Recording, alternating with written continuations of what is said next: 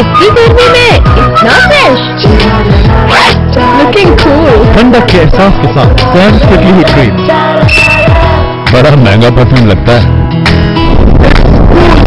गर्मी दानों का खात्मा और खुशबू साथ साथ। दिन भर रखे ठंडक के एहसास के साथ। सर ये सब सन प्रिकली हीट क्रीम का कमाल है। ठीक है, आज से तुम्हारा ट्रांसफ़र साइड एरिया में कर देते हैं। सन प्रिकली हीट क्रीम ये अंदर का एसी है।